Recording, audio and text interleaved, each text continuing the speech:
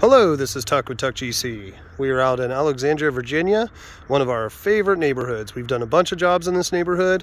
Uh, a lot of people here don't have driveways or aprons already. So since we're one of the companies that specializes in the aprons, we come in and put in the brand new apron and the brand new driveway for a person that didn't have one before. So now they have some off-street parking. Now this apron was approved through VDOT with all the proper permitting and bonding.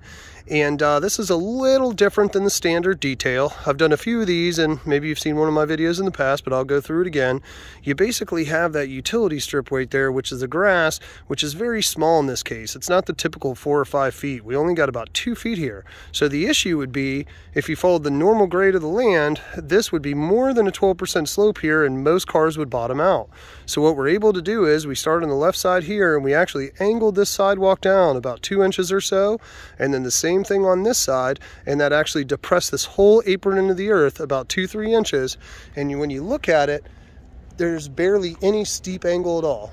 You could get a sports car in there. And believe it or not, that's why this lady called us. She got a nice new car. She wants to get off the street. So looking in, driveway has a nice slope going up, nothing too extreme.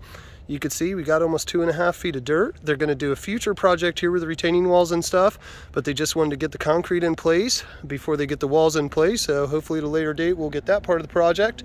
But let's uh, walk back here and take a look. You can see really nice finish. It's not optimum weather right now. It's a little cold out, so we did put some accelerators in the concrete. Then you can see a curing compound. Not quite cold enough for blankets, and plus blankets really mess up the finish, so anytime I can get away with those, I do. We did a little ramp leading up into the backyard again. They have a secondary project where they're gonna do a fence and some grading and walkways in the back. So that's just temporary. At a later date, all this will match up. And then we got the little stairs leading to the front. So I hope you like what you see. Any sort of driveway, concrete, stonework, especially VDOT apron work, give us a call. We're the company that specializes in this. We can help you with the permits and get a job like this put in, even when you're in not ideal conditions. We can put it in so your cars will clear and it'll meet the code. Thanks for watching. Have a good day.